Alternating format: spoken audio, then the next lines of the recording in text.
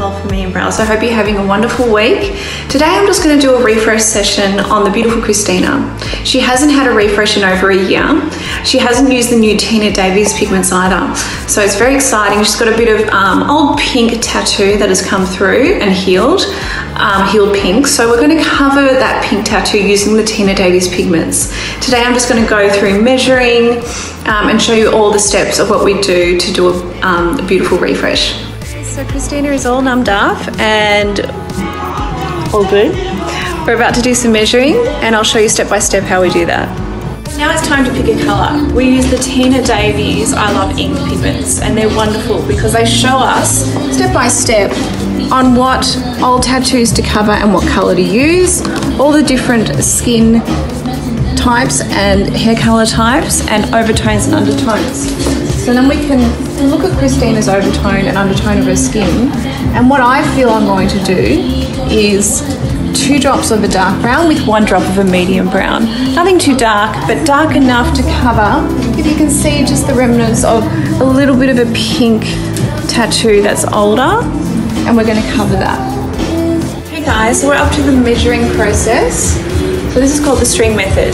And what we do is we use a string and we make some markings on the base of the brow, the top of the front of the brow, and the arches, making sure that both arches level. Now Kristina's right brow is slightly lower than the left, which the string shows me. Once we've done that, we take it to the nose, to the corner of the eye, and make a marking like that. And that allows the um, tail of the brow to be no lower or higher than the front of the brow. So then we go to the base of the brow, and we make a marking here, and that gives us that measurement. Again on the other side. Next step, we measure the nose bone. We do this is because our noses will slightly slant to one side. So we can't get a true measurement based on these kind of measurements, the old school way. So then I measure Kristina's nose bone and I make sure that the spaces on both sides are the same measurement.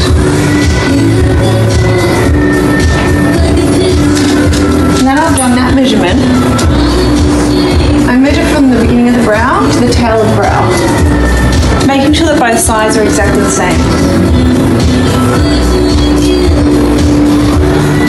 Now that we have that measurement, it's all about the phi ratio and figuring out where the arch is.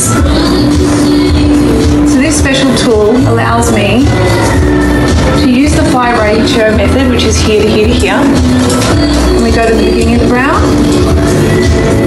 to the end, and this tells me where the arch should be placed on Kristina's facial measurements. Again on this side, we make a mark. Now that we have that, we can draw the stencil. So from the beginning of the brow up into the arch and to the tail of the brow. And then to the bottom of the brow, creating a beautiful, nice, structured line. And a beautiful arch underneath, covering all that old tattoo as well. Then we replicate on the other side.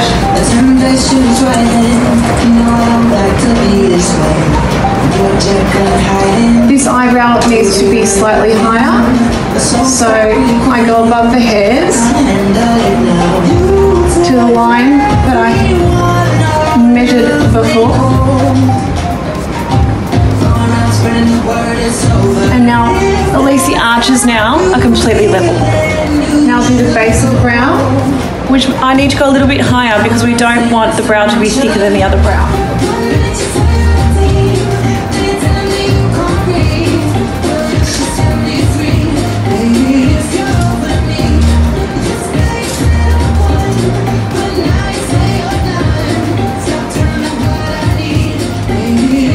I've made those measurements. I make sure that each arch is exactly the same.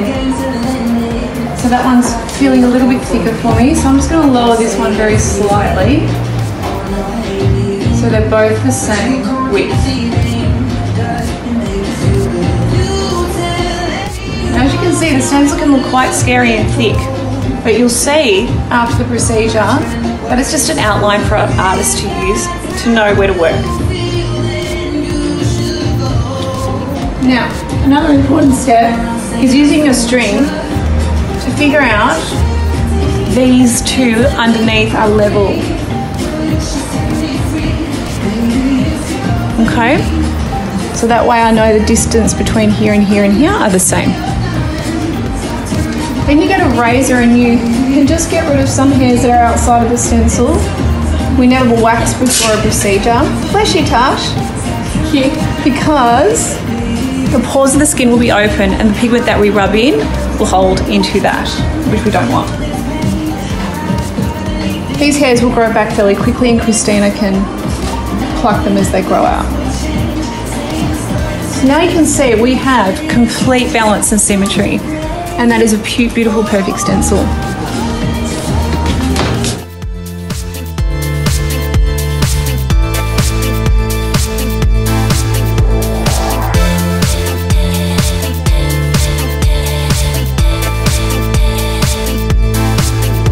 Guys, we're just going to clean off the first round. We've been soaking for about five minutes.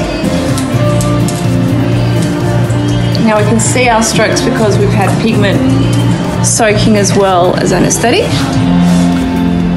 Now as you can see, it's nowhere near as scary as the stencil.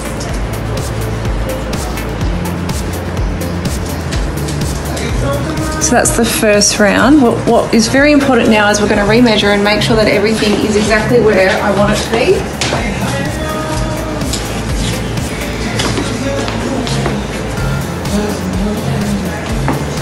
So we get out our string again and just relax your muscles down, closing your eyes completely relaxed. The base is good. The right brow I want to just bring up very slightly, so I'll make a little marking there. Now the arches are right on point. Let's make sure these are on point. Yep. And the fronts to the tails. Perfect. We get these and make sure that the widths are the same.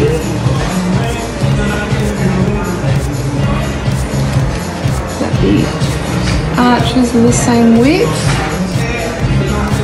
Perfect. Very good. So there's only one tiny little stroke there that I want to bring higher. So we're going to lay Kristina now, down now and do our second pass. The second pass is all about depth. Okay guys, we're all done. We're just going to put some aftercare cream on. This is um, SPMU Dry Heal Serum from the Brow Shop. And you just put a small drop back and forth like a windscreen wiper back and forth we get all between the hairs, just a very thin layer. Kristina will be doing this morning and night. She'll put a thicker layer on just before she's having a shower. For the first four days, she's not going to wet her face at all. That's why she has the cream to protect from any splashes in the shower for the first four days. On the fifth day, she can wet her whole face and the scabbing that has raised and formed to the surface will slowly start to slough off.